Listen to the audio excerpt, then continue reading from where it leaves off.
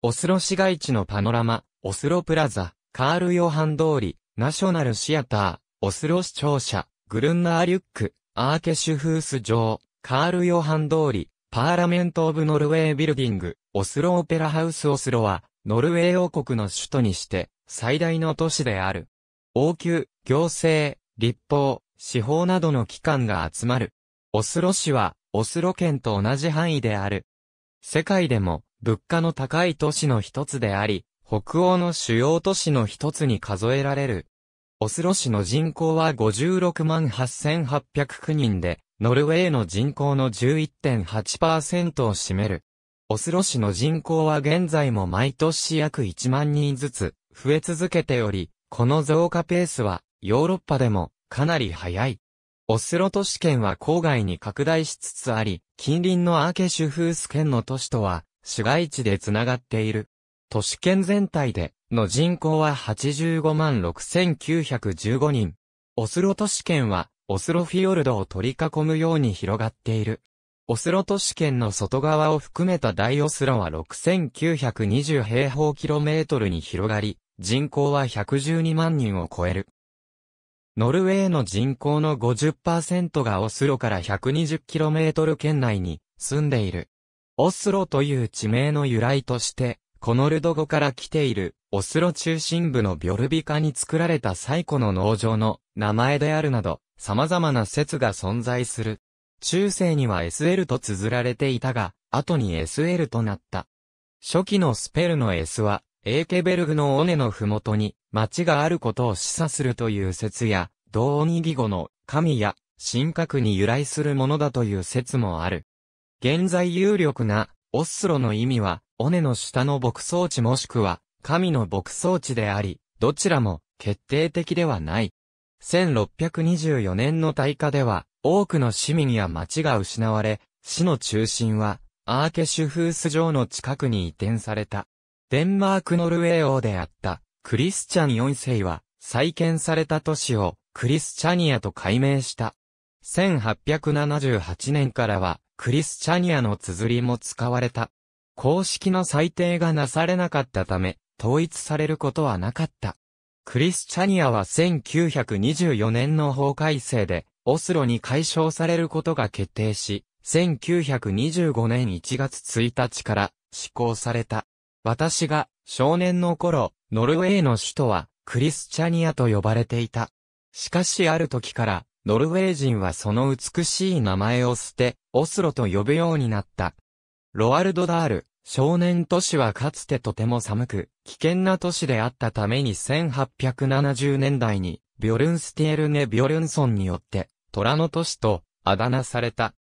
この名前は、数年後には公式に呼ばれるようになり、町の創立千年記念事業では、シティホールの周りには、虎の彫刻が制作された。1890年代、町に、ホームレスや小敷が溢れ出すと、虎の都市をもじって、ティガーステーデンもしくは、古事記の都市と揶揄されるようになった。この頃の街の様子は、クヌーとハムスンの上に描かれている。ノルウェーの佐賀によると、ハーラル賛成により、オスロが設立されたのは1049年のことである。しかし近年の考古学調査によれば、キリスト教の葬式が1000年よりも前に行われていたことが分かった。このことから、2000年にはオスロ千年祭が行われた。当時のオスロの町は、ビョルビカの入り江の東にあるガムレビエン地区に立っていた。オスロが公式に首都となったのは、ホーコン5世の時代である。彼は、最初に、オスロに常住した王でもあり、アーケシュフース城の建設を指揮した。後にノルウェーはデンマークから内政干渉を受けるようになり、同訓連合において王宮はコペンハーゲンに置かれ、オスロは州都に降格、デンマーク本土に比べて、都市の成長が停滞する。これは、ノルウェー全体に対しても、同じことが言える。オスロ大学が1811年まで建設されなかったことを見ても、それは明らかである。オスロは何度か大災害に見舞われている。1624年の大火は、被害が大きかったが、クリスチャン4世による復興で、市街地はかつての場所から現在の場所に移転し、5番目上の街路が作られた。この際に町はクリスチャニアに解消され、文化と貿易の中心として発展を遂げた。1624年以降に構築された都市は、その直角、直行する道路などからクバードラチュルンと呼ばれることがある。1814年にデンマークとの連合が解消され、スウェーデンとの同君連合下での自治を獲得すると、クリスチャニアは再び名実ともに首都となった。宮殿、議事堂、オスロ大学、国立劇場やオスロ証券取引所などの有名な建物はこの時代に建築された。この時代にオスロに在住していた文化人にはヘンリック・イプセンやクヌート・ハムスンなどがいる。1850年にはベルゲンを抜き、一番人口の多い都市に成長した。ノルウェーの完全独立後の1925年、オスロの名に服した。オスロフィヨルドの最北奥に位置し、南側で海と接する。その他三方は丘もしくは山で囲まれている。地域にはおよそ40もの島が存在する。市で一番大きな島は丸モヤ島である。地域には343もの湖が存在し、一番大きな湖はマリガルズバンネで、オスロ市の重要な給水源ともなっている。たくさんの湖がある反面、地域には川が2本しか存在しない。アーケル川は東オスロと西オスロを分ける境界線である。アルナ川はオスロ市の郊外、工業地区を流れている。市内の最高地点はキルケベルゲットで629メートル。近隣諸国の首都と比べると、いささか人口が少ないように思えるが、これは市内の3分の2が自然保護区に指定されているためである。市の周辺はたくさんの自然や公園で囲まれていて、市街に近い地域でもしばしば野生のヘラジカに遭遇する。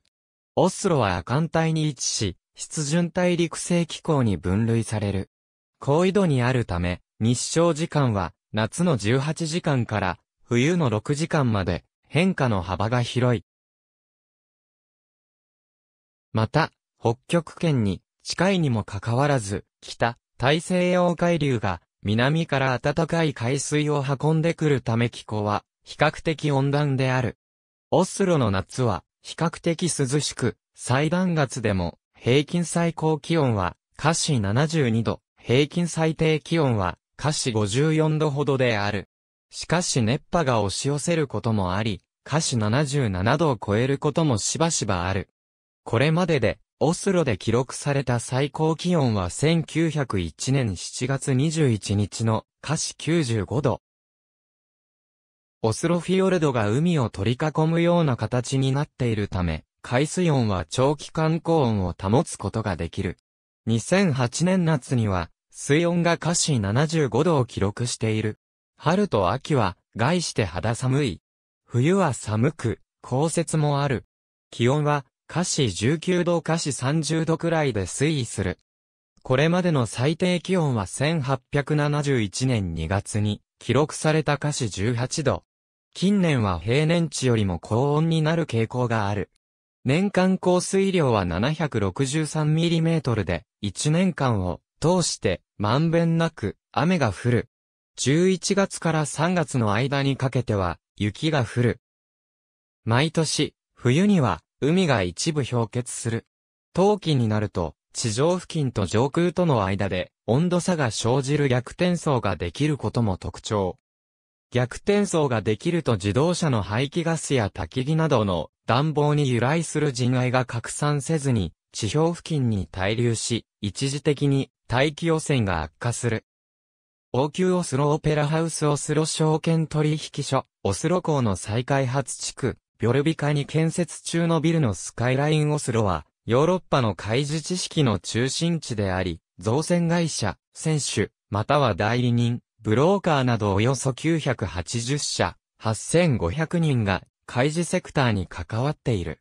選球サービスの大手であるデッドノルスケベリタスは、オスロに本拠地を置く。オスロ港はノルウェーで最多の旅客数、貨物量を扱う毎年6000隻近い船がオスロ港に入港し、600万トンの貨物と500万人もの乗客がこの港を利用する。ノルウェー最大の株式市場である、オスロ証券取引所が立地する。2003年のオスロ市内の域内総生産は、約2680億ノルウェークローネであり、国内総生産の約17%を占めた。1995年には約1659億ノルウェークローネであった。オスロ首都圏で GDP の25%を生み出し、税収に寄与してきた。それと比較して、ガスや石油などの天然資源産業からの税収は全体の16%であった。